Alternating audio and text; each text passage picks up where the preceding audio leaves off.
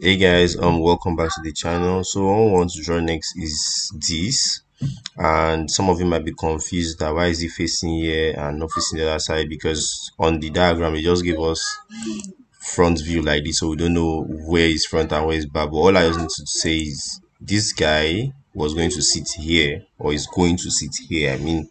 So he's sitting here means our front is in this direction. So when we come to our new sketch and come to our new sketch adding um sketch so it's going to be sitting here. Yeah so we click on that plane and quickly we draw a rectangle. Sorry i love to use this center rectangle. So i come here i draw a rectangle of distance 32 by 76 so this is my 76 and this is my 32 32 enter. So let's zoom out yeah i have to zoom out more because i had issues the other time so let me come here and draw a line here where i'm going to measure the distance between the other two stores is this line in the center? Yeah okay it's in the center.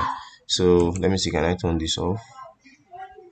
Delete this also delete so i come to the center 16 yeah i think 16 16 is there already so i can just come pick up my circle two i'm drawing circle of diameter five. So we have um this circle is a kind of ball circle but we can't complete it here. Let's just do five here now. Then we come here also we do another five.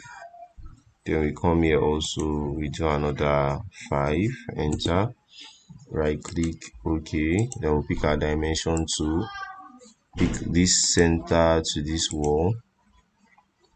Sorry i just did the wrong thing. Escape.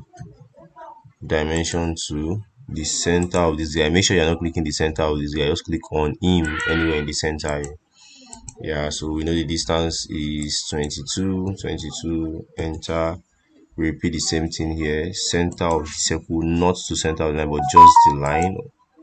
So that is also going to be 22 enter. Yeah. So i guess that's all. We just have to finish our sketch. We don't need to measure 16 because we drew on the center. Are sure this distance is 16 i finished my sketch. Then can you see it's facing the direction of where it's going to be sitting. On extrude. Come to this face and now let's extrude backwards. The reason why i'm extruding backwards because we'll be needing this as sketch. We need it in front here whenever i want to do our um chamfer effect. So we need it in front. Thickness is 5 as given. So we click on ok. Now let's make our sketch visible. Sorry let's make it visible. Visible true. Then come to o. O. And yeah this guy because then now we want to touch the center of this o center of this o can we do the three at the same time? Is it possible? Center of this o but we need to edit. This is not 20 this is we are giving 10 for this distance 90 degree and this is 5 yeah. Okay i adjusted the three of them. That's nice okay yeah so let's hide our sketch back and let's see what we just did. Sorry.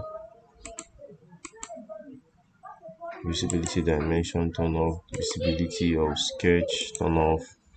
So let's see the guy. How does it look yeah it looks good. So the reason why we've been trading wouldn't be trading this is because they didn't give us m times this is or m12 yada that it was just diameter so yeah i think whatever um bolt or screw or whatever is going through here it wouldn't um it's going to be traded here. It's going to be traded at the distance. It's going to be, be traded from here.